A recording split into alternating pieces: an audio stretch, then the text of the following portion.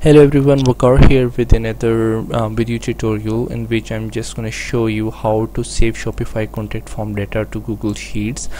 Uh, everyone knows how Shopify work is they send the contact form in uh, contact inquiry form data to the admin email which you uh, provide when you create the store it doesn't save this data into any kind of uh, database like um, Shopify admin panel or there isn't any plugin as well which can capture the data and save it into um, any database you have. So the best way to keep this data safe um, just in case you lost those inquiry emails is to save them into Google Sheets and I'm gonna show you how to integrate that today with my test Shopify uh, store and uh, make sure you follow this video till the end exactly as I do uh, just to make sure everything is working on your end. And uh, one thing for sure uh, just make sure your store is jQuery enabled uh, because um, this setup needs some JavaScript integration plus uh, jQuery as well. So I believe on my store jQuery is already installed. So I'm just gonna go ahead and set up everything as we need to so just need to make sure um, that you have the jQuery in order to make this work. And the rest of the stuff I will just show you in this video. So uh, if you look at this my github uh, project you can see uh, there are two steps we need to follow which is set up Google Sheet to accept the data and set up Shopify contact form to send the data to Google Sheet. We will begin with um, setting up our Google Sheet first. So I need to go into my drive and create a new sheet. I'm gonna name it uh, test sheet to save Shopify contact form data okay so once that uh, what we need to do is do we need to uh, work on the first row. On the very first row we need to input the name of those fields uh, the form data we need to save in here. So uh, what I'm gonna go ahead and what I'm gonna do is go ahead and uh, copy the names of those inputs which are just right here in that Google sheet. Um, well I'm gonna start from here. I will show you why since I have only four fields in my this um, Shopify form so I'm gonna save those four plus one another in which I'm gonna store the time when someone exactly submit that form just to make sure I know when this inquiry was submitted. Uh, there is no other way you can track that otherwise it will only store the contact name contact phone email and stuff whatever you add in there. But uh, in that case you are you never knew when this inquiry was submitted. And in order to uh, get rid of that I just um, set up another field which is hidden which we need to add into our uh, Shopify form later on. But its name I'm just gonna copy it over into my Shopify sheet right now just to make sure everything is set up. Okay so once they those fields are set up you uh, doesn't need to um, play with it anytime later on because if you change something which is not here like um, the name of the field which we sense from here and which is here if it's different even a single bit it's not gonna work. It's not gonna save that field in here so since I just created uh, a new sheet with the names I need to store in here what I need to do is to go to tools and click on script editor. And once I'm on that you can see the default function my function. I need to replace it with uh, this file I just have right here google scripts.js do not change anything in it. You just need to copy the raw data which we have just right here copy everything and paste it basically replace with what you already have in there. Done. So let's save it and call something shopify contact form data submit. Okay so once it's done uh, what you need to do is to go to run run function and click on setup okay. So wait a second. Something went wrong. Review permission. And you need to select your account.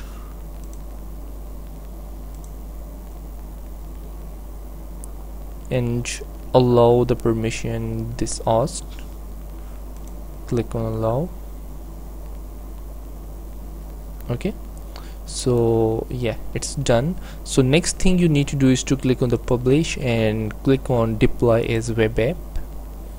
And yeah uh, you need to check this third option which says an anyone even anonymous. Um, that's very important. If you do not do that you can get an error and your data will never process. So just select this option. Click on deploy and once it's done you need to copy that link. That's the most important part. That's how we uh, the script know where we are sending the data okay? So click ok and then you can close this one if you want. Okay since uh, Google Sheet is already set up everything is done here we uh, got what we needed which is basically this link where we are going to send that data. So next step will be to set up Shopify contact form to send the data okay? And uh, in order to do that you need to uh, access the theme code like I have this live theme just right here.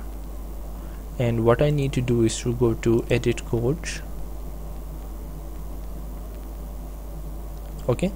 And in edit code you need to find the template uh, where you have your contact form code in the backend. So uh, first thing you need to go to page.contact uh, in most themes uh, all the data is in here but since my theme is section ready so it's in contact uh, dash template. So I'm gonna go right here and there you can see I have the contact form code in the Shopify just right here okay? So by default Shopify contact form have the ID as you can just see right here uh, contact underscore form okay? Just remember this. So what we need to do is to uh, first of all you need to uh, install this uh, jQuery library in there. So what I'm gonna do is click on this one and just copy the name the name of this. Sorry till that point dot you need to go in here create a new sh blank file .js like this. And after that you have copy everything which is in there to your newly created JS file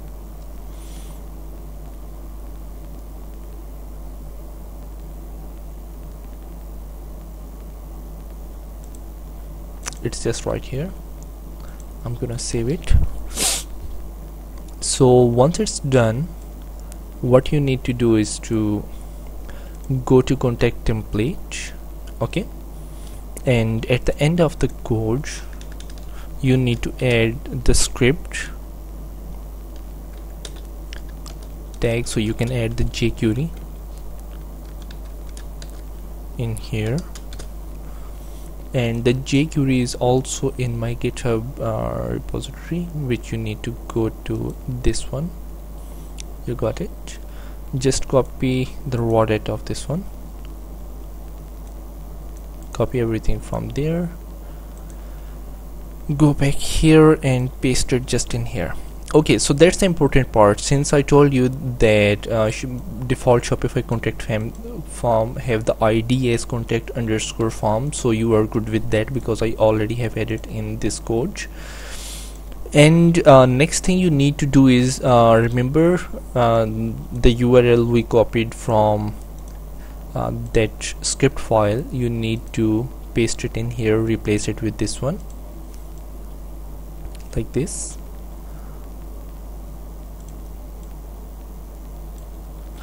and after that there is another option. Um, that's how it's gonna work. When you click on that submit button uh, it's supposed to trigger an event uh, a function. On click event it is gonna trigger that function which is just right here okay so there are two options. Uh, sorry three options. First thing which uh, happened by default when you click on the submit button it sends the data to the admin email you provide when you create the store. The second thing with this script we can do uh, it's gonna send the data to the Google Sheet but it's not gonna send the data to the Shopify admin but if you want both enabled you need to do is to remove this line. Delete this if you want to send data to admin email address okay? Uh, since I want to set up that so I'm gonna remove that line. And uh, the next thing you need to do is to save it just right here okay since that's safe I need to locate the input button and you need to check if there is an ID already assigned to your submit button. Since in my case it's not assigned so I need to assign the ID because uh, that's how this function is going to be triggered when we click on that button. And in jQuery we need to capture that. I'm gonna give the same ID I have here to this input button like this. Uh, if the id is already assigned what you need to do is to use that same id just right here. Okay you do not need to change the id uh, existing id because it can break other functions which are assigned with that id so I already have done that and uh, the next thing you remember in the Google Sheet I added date and time. And in order to get that working you need to copy this hidden field which I just have right here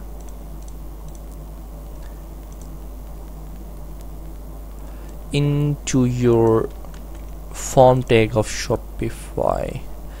Uh, just make sure you enter it after that uh, this form starting tag anywhere okay? So in that case I'm just gonna do it right here or maybe just after the errors.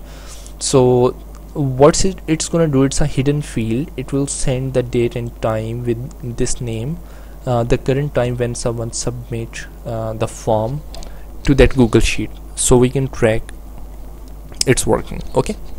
And the last thing here what we need to do is to we need to add that script file because um, since we need it only on this page so there is no need to add it into uh, the default theme dot liquid okay? It, it can just make some um, it can basically break your stuff but um, I hope it's not. But since we need it so we are gonna do it on the contact page only. And that's we're gonna do by uh, you need to copy existing script file. The easiest way to do is to find it in here like this and enter it just right here. Okay? And then you need to copy the name of this one. Like this. Save it. And I believe we are all set. So let's go ahead and test if it's gonna work or not. And before that I'm gonna verify a few things by inspecting the code if my stuff is in there or not. So if you inspect the code you can see the hidden field which says date time value is just right here. That's what is going to send to the google sheet when i click on the submit button and you can see the id is there. And our sheet is just right here. You can click open a new tab just to make sure if it's live or not. And you can see our script is also there and now what we are gonna do is go ahead and run a test by Waqar and I'm gonna use your phone as blah blah blah anything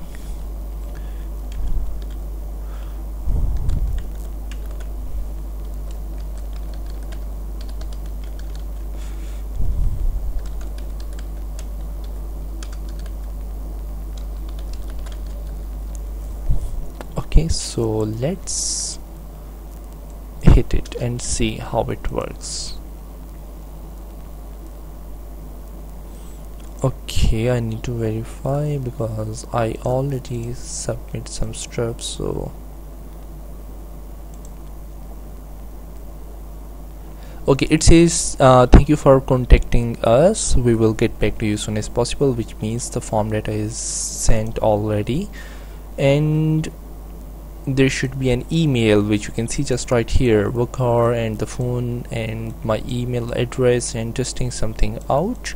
It means we got that on our Shopify admin. Now we need to go in here and yeah there you go.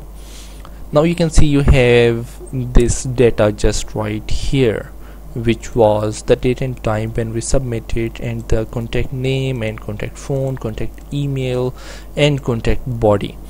So um, I hope you followed everything. Um, you can style your sheet any way you like it. It's totally up to you. I'm just gonna submit another test data by name of Alex and phone number is 123 and email is email at email.com and comment is blah blah blah blah.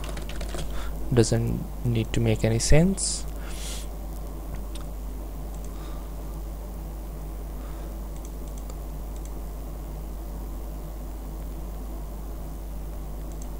I hope there isn't any other bus. Yeah it is. So let's submit and the form data goes through and I should also get an email like this one. And when you go back in here it's also supposed to be in here as well.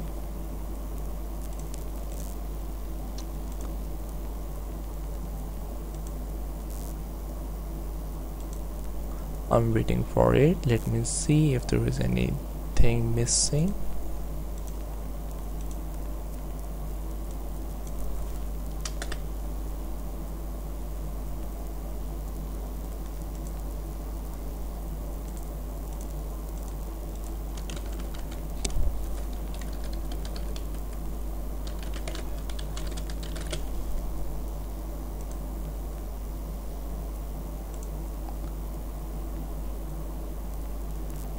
storefronts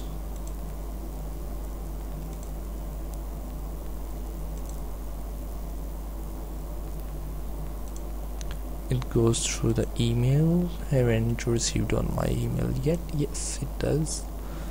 Okay yeah and now you can see you have this data just right here. You can format your sheet any way you like it. It's totally up to you. Um, fill color this and this. And yeah like this.